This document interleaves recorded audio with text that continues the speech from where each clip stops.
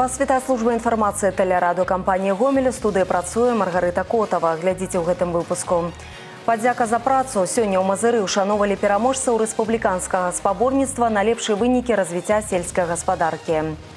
На варце бяспекі дзяржавы сёння ў лове прайшлі ўрачыстасці прымеркаваныя да дня пагранічніка. Пазбегнуць рызыкі камунальныя службы праводзяць і дэзінфекцыю жыллёвага фонду. А зараз аб гэтым і іншым больш падрабязна. Пераможцаў рэспубліканскага спаборніцтва на лепшыя вынікі ў сацыяльна-эканамічным развіцці сельскагаспадарчай галіны ўшановалі сёння ў мазыры. Менавіта гэты раён па выніках работы ў 2019 годзе стаў лепшым у Беларусі. Да мерапрыемства далучыліся нашы карэспандэнты.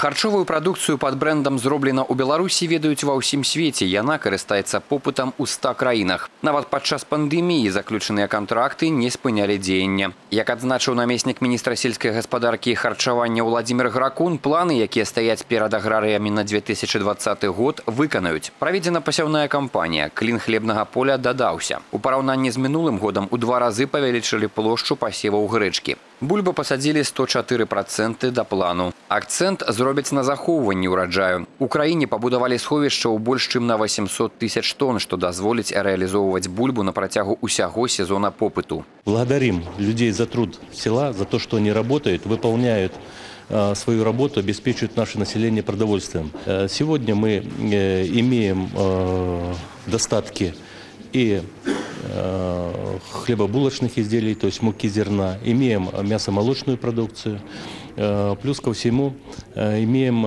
ресурс поставки на экспорт.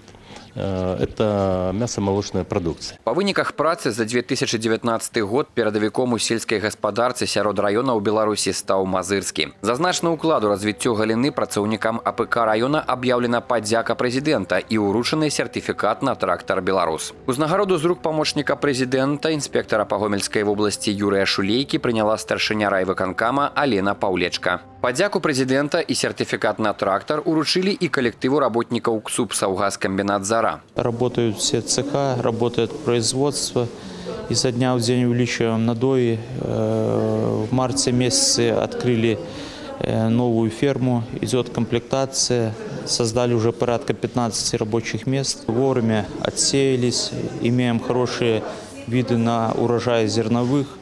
Э, Конечно, чуть-чуть холодная погода сдерживает развитие кукурузы, но я думаю, что в ближайшие дни уже передают тепло, растения в развитии э, наверстают то, что было упущено. Прадпрыемства не толькі стабільна паказвае высокія вынікі, але і забяспечвае раён новымі працоўнымі месцамі, гарантуе высокую заработную плату і добры сацыяльны пакет. Клапоцяцца пра супрацоўнікаў і на рагачоўскім малочна-кансервавым камбінаце. З 1 мая для абслугоўвання сыравіннай зоны тут адкрылі новае прадпрыемства рагачоўскі мкк сервіс і стварылі 59 працоўных месцаў. Па выніках мінулага года адкрытае акцыянернае таварыства стала пераможцам у намінацыі лепшая арганізацыя работы па ахове працы працы сярод сельгазарганізацый. Па словах кіраўніка, эпідэмічная сітуацыя ў свеце практычна не адбілася на рабоце МКК. Атрымалася нават асвоіць новыя рынкі. А, наоборот, еще более увеличились поставки, конкретно если по Рогачевскому молочно-консервному комбинату, то где-то процентов так на 20-30 мы увеличили поставку на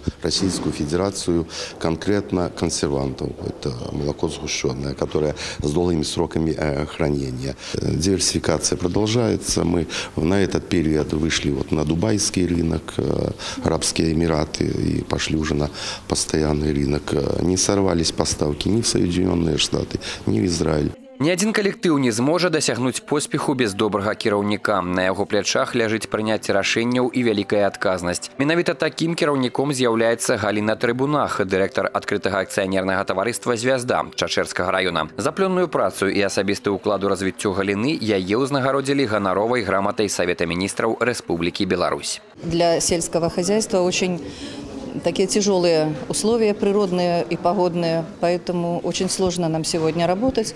Но каждый человек, который работает в сельском хозяйстве, должен быть оптимистом и всегда надеяться только на лучшее, на хорошие успехи, на высокие урожаи. Только тогда мы достигнем того, что мы должны достигнуть. Ну, а работаем, конечно же, качество продукции должно быть, мы ее реализовываем, мы выходим на уровень и других стран, поэтому мы будем жить, у нас будут деньги, мы будем работать с прибылью, и все будет у нас хорошо. Усяго падчас урачыстага мерапрыемства было уручана 13 узнагарод. Ганна Каральчук, Сергей Нігеревич, Ігор Марышченко, тэлерадыёкампанія Гомель з Мазырскага района. Віншаванне плац-канцэрт і адкрыццё музея баявой славы. Сёння на тэрыторыі пагранкамендатуры Лою прашлі ўрачыстасці, прымеркаваныя да дня пагранічніка. Удзел у іх прынялі і нашы карэспандэнты. Гэты год для беларускіх пагранічнікаў не юбілейны. Пагранічная служба была створана ў 1918, але на ўрачыстасць праводзімых мерапрыемстваў гэты факт ніякага ўплыву, здаецца, не аказвае. У пагранкамендатуры Лояў святкаванне пачынаецца з урачыстага пастраення і ўзнагароджвання. Нагрудныя знакі дзяржаўнай пагранічнай групы, граматы, падзякі, прысваенне чарговых вайсковых званняў і прадастаўлення нешарговых адпускоў. Ягор Бязбогін служыць паўгода і зараз атрымлівае сваю першую узнагароду – знак 100 выходов на охову державной границы. Я хотел попасть именно в пограничники, именно на, на эту службу. То есть я очень много про нее слышал, очень много интересовался, и именно сюда меня все это и вело. Когда мне в военкомате сказали, что ты, ну, что тебе предлагают попасть в пограничники, я без промедления сказал «да». Пагранічнік прафесія сапраўды адказная. Сёння ў органах пагранічнай службы больш як 13 тысяч чалавек, якія ахоўваюць каля дзвюх тысяч кіламетраў граніцы на латвійска-літоўскім, польскім і украінскім накірунках. Аб эфектыўнасці работы гомельскай пагранічнай групы можна меркаваць па выніках яе службовай дзейнасці. За 2019 год и 5 месяцев 2020 года на участке Гомельской пограничной группы задержано 870 нарушителей законодательства Республики Беларусь государственной границы и правовом положении иностранных граждан.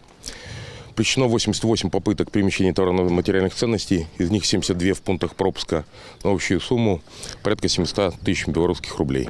Для нашего региона Наверное, основным правонарушением будет являться это э, рыболовство в пограничной полосе с нарушением установленных правил Сярод запланаваных урачыстых мерапрыемстваў адкрыццё пакоя баявой славы. Па сутнасці гэта невялікі музей, стэнды якога прысвечаны гісторыі вызвалення Лоева, дняпроўскай флатыліі і герою Савецкага саюза пагранічніку Мікалаю Сушанаву. Яго імя зараз носіць лоеўская пагранзастава. У мінулым годзе на тэрыторыі камендатуры адкрылі прысвечаную герою мемарыяльную кампазіцыю. Тады начальнік гомельскай пагранічнай групы паабяцаў родным Сушанова стварыць пакой баявой славы, цэнтральнае месца ў якой зойме інфармацыя аб героі. Гомельскія пагранічнікі ўвогуле прымаюць актыўны ўдзел у жыцці пагранічных тэрыторый. Урэшце лозунг граніцу радзімы ахоўвае увесь народ не страціў актуальнасці і ў нашы дні. У нас на территории Лоевского района 24 населенных пункта относятся к пограничной зоне. Наши пограничники участвуют в работе смотровых комиссий в данных сельских населенных пунктах. Также принимают участие в проведении сходов граждан, на которых они проводят информационную работу по разъяснению гражданам правил нахождения, проживания и ведения хозяйственной деятельности на территории пограничных и сельских населенных пунктов. Уже несколько лет на территории нашей погранкомендатуры создан и работает военно-патриотический лагерь «Патриот», куда приезжают дети не только лоевские, а также ребята из э, Брагинского, Хойнинского и Реческих районов. У пагранічнай службе прафесійная свята мае свае асаблівасці. Сабраць разам усіх ваеннаслужачых немагчыма ў прынцыпе. Без надзейнай аховы дзяржаўная граніца не застанецца ніколі. І гэты факт робіць свята яшчэ больш значным і ўрачыстым. Як бы не змяняўся свет, гэтай справай займаюцца толькі сапраўдныя патрыёты і прафесіяналы.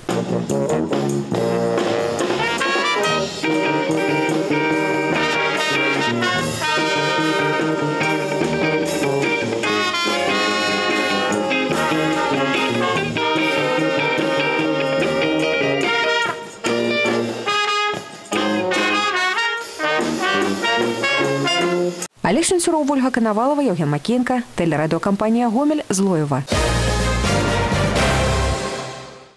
Заўтра жыхары нашага рэгіёна могуць звярнуцца па тэлефоне да прадстаўнікоў мясцовай улады. У гомельскім аблвыканкаме на пытанне грамадзян адкажа першы намеснік старшыня аблвыканкама Ігар Часнок. Тэлефон для сувязі 33 12 37. У гэты час прымаць званкі будзе намеснік старшыні гомельскага гарвыканкама Сергей Андрэеў. Нумар тэлефона 51 45 58. Прамыя лініі, як і звычайна, працуюць з 9 до 12 гадзін. Звесці да мінімуму рызыку заражэння. У гомелі працягваюць дэзінфекцыю жылога сектара. Камунальнікі ў ахоўных касцюмах уваходзяць у пад'езды і апрацоўваюць спецыяльным растворам усё, да чаго дакранаюцца жыхары.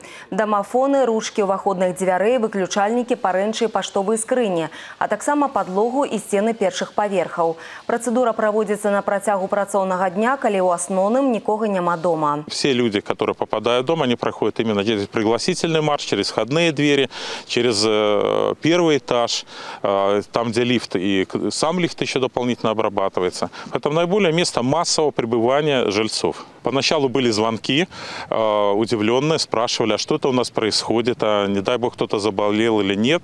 Мы успокаивали, разъясняли, что это наши работники, проводим дезинфекцию, и теперь уже люди благодарят и говорят спасибо. На апрацоўку аднаго пад'езда патрабуецца ў сярэднім 10-15 хвілін. Затым камунальнікі перамяшчаюцца на дзіцячыя пляцоўкі. Абавязковая дэзінфекцыя гульнявога і спартыўнага абсталявання. У мікрараёнах сфарміраваныя па дзве-тры брыгады. У кожнай ёсць мужчына, балон з дэзінфекцыйным сродкам, які трэба насіць па 8 гадзін у дзень, важыць прыкладна 10 кілаграмаў. Дзяржаўтаінспекцыя Гомельшчыны далучылася да рэспубліканскай акцыі «Міліцыя ўрачам», накіраванай на ўклад у агульную справу ў барацьбе з каранавірусам. Сёння прадстаўнікі абласнога ўправлення ДАІ перадалі ў гомельскую гарадскую бальніцу нумар 3 ахоўныя касцюмы. Медыцынскі персанал штодня падвяргаецца небяспецы і робіць усё магчымае для захавання жыццяў і здароўя людзей, адзначыў намеснік начальніка ўправлення ДАІ Сергей Бандаренко. Мы выказваем удзячнасць усім медыцынскім работнікам, якія ў гэты нялёгкі час стаяць на перадавой, на плечы якіх легла такая нялёгкая праца. Правядзенне мерапрыемстваў на свежым паветры заняткі ў рэжыме онлайн. Сёння ў гомелі абмеркавалі арганізацыю аздараўленчай кампаніі для школьнікаў. Зразумела, сёлета з-за пандэміі яна будзе мець шэраг асаблівасцяў. Усе аздараўленчыя лагеры будуць працаваць згодна з рэкамендацыямі міністэрства аховы здароўя. Іх адкрыццё магчыма толькі пасля дазволу санітарна-эпідэміялагічных службаў. Школьныя лагеры пачнуць сваю працу з 1 чэрвеня. Плануецца, што яны прымуць каля 17 з паловай тысяч школьнікаў. Гэта прыблізна на 40% менш, чым планавалася на пачатку года. Мерапрыемствы пераважна будуць праводзіць на вуліцы. У класах арганізуюць знаходжанне невялікай групы. Нельга забываць і аб тых, хто летам застанецца дома.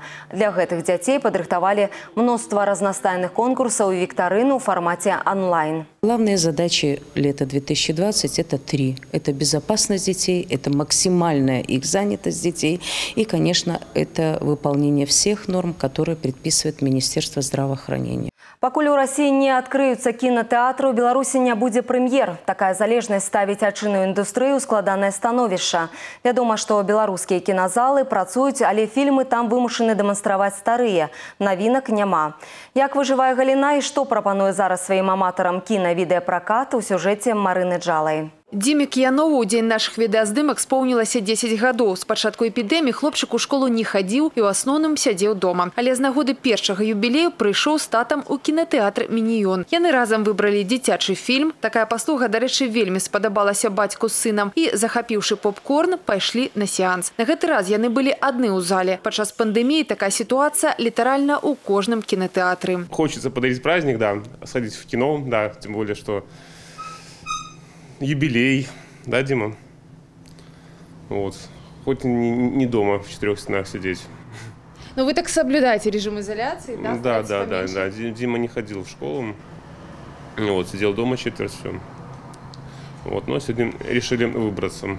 Зразумела, што зараз як раяць эпідэміёлагі і медыкі лепш грамадскія месцы ігнараваць. А калі вельмі хочацца выйсці ў свет, прычым максімальна бяспечна, можна арандаваць залу кінатэатра Мініён. Дастаткова выкупіць 10 месцаў па 2,5 рублі і гэта гарантуе, што на сеанс больш нікога не прапусцяць. Перад уваходам у кіназал супрацоўнікі нагадаюць апрацаваць рукі антысептыкам, які стаіць побач з касай. Нам удается выходить из создавшейся ситуации благодаря э, достаточно большой, насчитывающей более 100 наименований фильмотеки фильмов на э, альтернативных, назовем так, э, цифровым, на DVD-носителях.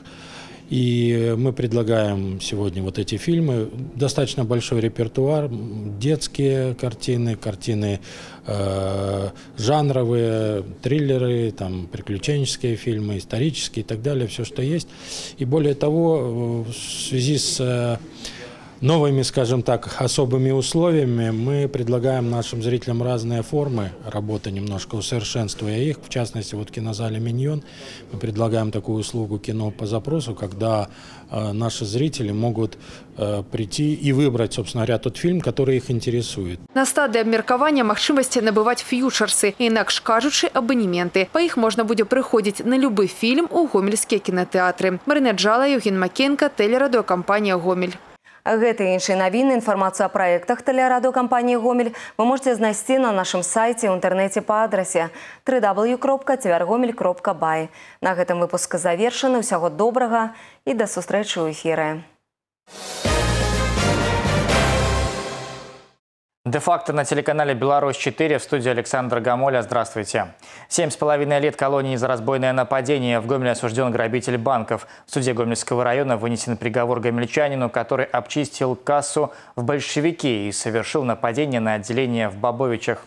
Второй налет не был успешным, и через некоторое время мужчину задержали. Напомним, первый разбой осужденный совершил 10 января этого года. Вторая попытка заполучить деньги была в марте. В отделении банка поселка Большевик грабитель, угрожая кассиру предметом, напоминавшим пистолет, завладел в эквиваленте суммой размером около 11 тысяч рублей. В Бабовичах работница отделения нажала тревожную кнопку и злоумышленник ретировался. На основании закона об амнистии обвиняемый был частично освобожден от наказания сроком на один год. В итоге подсудимому дали 6,5 лет лишения свободы и штраф в размере 100 базовых величин. Приговор в законную силу еще не вступил и может быть обжалован в установленном порядке. В Рогачевском районе заблудившийся сельчанин сам позвонил в милицию и сообщил, что не может выйти из леса. Мужчина рассказал, что сторожил делянку неподалеку от деревни Ракета, отправился на обход и не смог найти обратную дорогу. Его стали искать на милицейском автомобиле, подавая звуковые сигналы. В итоге заблудившийся мужчина на них среагировал и вышел на свет фар машины. Медицинской помощи он не нуждался. А на территории Житковического и Реческого района в заминувшие сутки произошло два лесных пожара. Семь раз спасатели выезжали на оказание технической помощи и тушили возгорание сарая в деревне Залядье Гомельского района. Крыша и имущество постройки уничтожены огнем. Люди, а также соседнее здание не пострадали. Предположительная причина пожара – поджог. В Беларуси продолжается специальное комплексное мероприятие ГАИ «Внимание, дети». В рамках ежегодного проекта сотрудники встречаются с учащимися, рассказывают им о необходимости и важности соблюдения правил дорожного движения, вручают памятки и листовки. Что же касается водителей, то до 5 июня к ним предъявляется специальное требование – обязательное использование ближнего светофара во время передвижения на автомобиле. Наряды ГАИ осуществляют усиленное дежурство на протяжении всего светлого времени суток. Нарушители ожидают штрафы. Это вся информация на сегодня. Будьте в курсе происшествий Гомельской области вместе с Де-факто и оставайтесь на Беларусь-4. На телеканале «Беларусь-4 Гомель» новости спорта в студии Максим Савин. Здравствуйте. Вагоностроители впереди. Состоялись первые матчи полуфинала чемпионата Беларуси по мини-футболу. Гомельское дерби БЧ ВРЗ не разочаровало. Голевых моментов обе команды создали достаточно. Вопрос был только в том, кто сможет более эффективно использовать свои возможности. И здесь команда Анатолия Яновского была более продуктивной. На экваторе первого тайма Владислав Селюк вывел номинальных гостей вперед. Через 7 минут преимущество вагоностроителей вагоностроителей составляла уже два гола. Дмитрий Лось после розыгрыша аута пробил не очень сильно, но точно. 2-0. На старте второго тайма железнодорожники отыгрались. Интригу возродил Денис Колб, за которым перед своими воротами не уследили игроки ВРЗ. В дальнейшем усилия игроков БЧ спасти поединок упирались в слаженную защиту ВРЗ. Вагоностроители впервые в этом сезоне обыграли БЧ и повели в серии до двух побед 1-0. Хороший матч с обилием хороших, качественных моментов э, и у соперника, и у нас. Э, я думаю, что так, чтобы сказать, что мы заслужили прям поражение, наверное, не сказать. Но все э, кроется в мелочах. Если один человек выпал или сотворил какую-то глупость, плей-офф этого не прощает. Некоторые, на мой взгляд, футболисты сегодня в первом тайме забыли, что такое плей-офф. Вот. Поэтому мы были мгновенно наказаны. Моменты были как у нас, так и у соперника. Но на, нас реализация не подвела просто в этой игре. Забили, повезло, да. Дальше играли по счету, но опять же у нас тоже были еще моменты. Могли больше забить, но могли и пропустить как бы. Забили, победили. Второй поединок состоится 31 мая на паркете спорткомплекса «Локомотив». Начало в 14.00. Исход первого противостояния Витена и столицы решил один гол, забитый энергетиком Дмитрием Клочко на 24-й минуте. В воскресенье соперники сыграют в Минске. Напомню, что поединки плей-офф чемпионата Беларуси по мини-футболу проходят без зрителей. На предстоящих выходных пройдут матчи седьмого тура чемпионата Беларуси по футболу в первой лиге. Завтра реческий спутник на поле стадиона «Сдюшор» номер 8 в Гомеле встречается со столичными крумкачами. Начало поединка в 14.00. Час спустя в Пинске сойдутся «Волна» и «Гомельский локомотив». В 16.00 в Лиде начнется матч между местной одноименной командой и Светлогорским химиком. Гомель в воскресенье на выезде играет с Оршей. Гандбольный клуб «Гомель» перед уходом в отпуск выдал порцию трансферных новостей. Мужскую команду покинул Дмитрий Смоликов. В составе «Гомеля» игрок провел 9 сезонов. Пять раз становился бронзовым призером чемпионата страны. Карьеру он продолжит в чешском Брно. Также сотрудничество с клубом прекратили Андрей Климовец и Павел Ярошук. Виталий Зинченко продолжит карьеру в «Гомеле». Четырехкратная чемпионка Беларуси Анна Редька завершила игровую карьеру. За 8 сезонов в женской команде «Гомеля» гонболистка также четыре раза становилась обладателем Кубка страны. Выигрывала дважды Балтийскую лигу. Клубную прописку меняют Ирина Стельмах и Валентина Войтулевич. Новое соглашение с Гомелем подписали Наталья Котина и Кристина Храменко.